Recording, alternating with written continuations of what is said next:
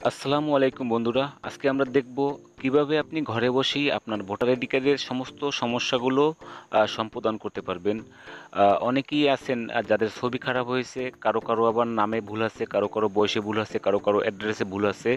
অনেকেই আছেন যারা দেশের বাইরে কিংবা এলাকার বাইরে বিভিন্ন সমস্যার কারণে আসতে পারতেছেন না। তারাই ঘরে বসেই খুব সহজেই আপনি সামান্য কিছু ফি দিয়ে আপনি আপনার ভোটার আইডি কার্ডের সমস্ত তথ্যগুলো হালনাগাদ করতে পারবেন। তো বন্ধুরা, আমরা সরাসরি চলে যাব। তো যাওয়ার আগে আপনাদের কাছে ছোট্ট একটি অনুরোধ থাকবে। আপনি যদি আমার চ্যানেলে নতুন হয়ে থাকেন, প্লিজ প্লিজ আমার চ্যানেলটি সাবস্ক্রাইব করবেন। তো বন্ধুরা, প্রথমে আপনি আপনার পছন্দ মতন একটি ব্রাউজার ওপেন করবেন। তো বন্ধুরা, আমি এই সাইটে প্রবেশ করার জন্য যে লিঙ্কটি, সেটা আমি ডিসক্রিপশন বক্সে দিয়ে দেবো, সেখান থেকে আপনারা নিয়ে নেবেন। তো এখানে লিঙ্ক ওপেন করার পরে দেখেন, এখানে রেজিস্ট্রেশন করুন একটা অপশন আছে। আপনার যদি পূর্বেই রেজিস্ট্রেশন করা থাকে, তাহলে আপনি লগ করবেন এখানে। আর আর যদি রেজিস্টার করা না থাকে, তাহলে রেজিস্টার অপশনে ক্লিক দিবেন।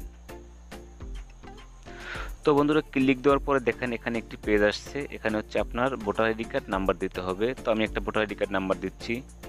তো বন্ধুরা এখানে ভোটার আইডি কার্ড এবং আপনার জন্ম তারিখ বসাবেন। আর এখানে দেখেন যে এলোমেলো একটি লেখা আছে। তো একটু জুম করে আপনি কি সেই লেখাটা এখানে বসাতে হবে। যেমন আমি এটা বসাই, বসিয়ে দিচ্ছি।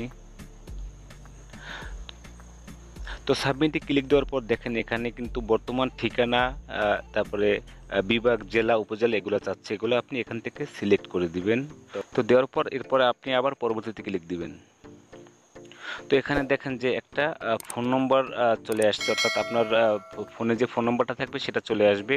এটার থেকে একটা বার্তা পাঠাবেন। আর যদি আপনি মনে করেন যে এই নাম্বার দিবেন না, অন্য কোনো নাম্বার তাহলে এখানে মোবাইল পরিবর্তনে ক্লিক দিবেন। এখানে পরিবর্তন করে দিবেন নাম্বার তো এখানে বার্তায় ক্লিক দেওয়ার পরে তো বন্ধুরা দেখেন, এখানে ছয় সংখ্যার একটি কোড যাবে। কোডটা যাওয়ার পরে আপনি এখানে টিক মার্কে ক্লিক দিলে আপনার অ্যাকাউন্টটি ক্রিয়েট হয়ে যাবে। এরপরে আপনাকে একটা ইউজার নাম বসাতে হবে এবং একটি পাসওয়ার্ড বসাতে হবে। তো পাসওয়ার্ড বসানোর পরেই আপনার অ্যাকাউন্ট ক্রিয়েট কমপ্লিট হয়ে যাবে। যেহেতু আমার করা আছে, তাই আমি আর করতে চাচ্ছি না। তো এর- এরপরে আপনি লগ করবেন। তো বন্ধুরা অ্যাকাউন্ট ক্রিয়েট হওয়ার পরে আপনি আপনার ইউজার নেম এবং আপনার পাসওয়ার্ড এবং এখানে এই যে জুম করে দেখবেন যে ক্যাপচাটা এখানে বসিয়ে আপনি লগ ক্লিক দিবেন। তো বন্ধুরা, এটি হচ্ছে আমার ছোট ভাইয়ের একটি ভোটার আইডি কার্ড। তো লগ ইন হওয়ার পর এরকম একটি পেজ আসবে, আমি একটু জুম করে দেখাচ্ছি। এখানে দেখুন যে প্রোফাইল রি ইস্যু পাসওয়ার্ড পরিবর্তন ডাউনলোড তো আপনি চাইলে এখান থেকে ডাউনলোড করে আপনার ভোটার আইডি কার্ডটা ডাউনলোড করে নিতে পারবেন। আর এখান থেকে প্রোফাইল যদি আপনি কোনো কিছু পরিবর্তন করতে চান, তাহলে এখানে প্রোফাইলে ক্লিক দিবেন। প্রোফাইলে ক্লিক দিলাম। তো ক্লিক দেওয়ার পরে দেখেন এখানে একটি পেজ আসছে। মানে এই যে ব্যক্তিগত তথ্য, এখানে যা যা আছে বিস্তারিত কিন্তু এখানে দেখা, লেখা আছে। তো আপনি চাইলে এগুলো সব পরিবর্তন করতে পারবেন।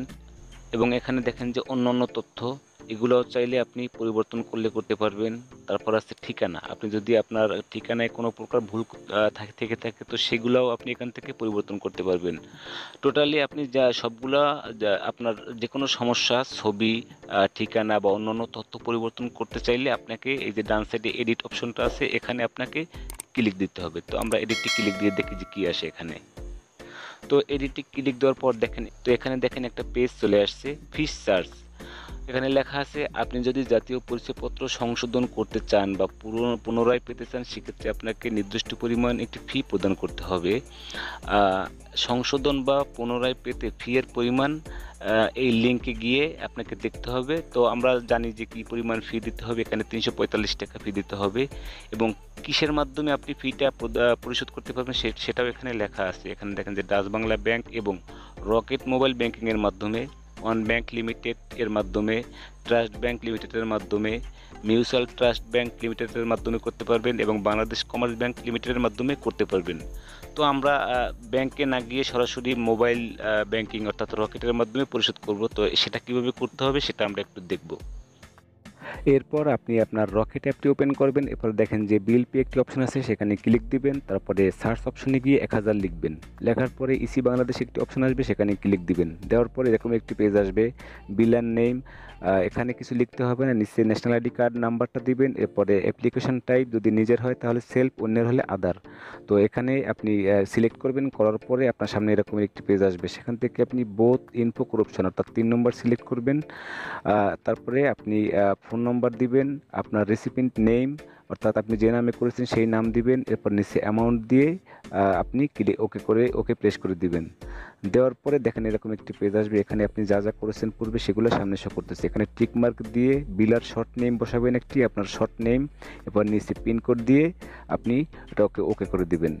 তো দেওয়ার পরে আপাতত এখানকার শেষ। এরপরে আপনি সরাসরি চলে যাবেন আবার সাইটে এবার দেখেন, এরকমের একটি অপশন আসবে। ইউ হ্যাভ টোটাল ডিপোজিট তিনশো পঁয়তাল্লিশ বিডিটি যদি এটা লাল চিহ্ন দেখায়, তাহলে একটু রিলোড দেবেন দিলে পরে এটা ঠিক হয়ে যাবে। এরপর আপনাকে একটি ফর্ম সংগ্রহ করতে হবে। এখানে আবেদন ফর্মে ক্লিক করে, একটি ফর্ম সংগ্রহ করে একটি ফর্ম সিলেক্ট করে পরবর্তীতে ক্লিক দিতে হবে। এরপরে দেখেন যে এরকমের একটি অপশন আসবে। এডমিট কার্ড অথবা আপনার ড্রাইভিং লাইসেন্স অথবা আপনার সার্টিফিকেট অথবা পাসপোর্ট অর্থাৎ আপনি যেটা থেকে নাম পরিবর্তন, নাম ঠিকানা পরিবর্তন করছেন সেটা এখানে সিলেক্ট করতে হবে। সিলেক্ট করার পরে এই যে আপলোড অপশন আছে, সেখানে গিয়ে আপনি যেটা থেকে নাম পরিবর্তন করছেন সেটা আগের থেকে স্ক্যান করে রাখতে হবে। সেখান থেকে আপলোড করে পরবর্তীতে ক্লিক দিতে হবে।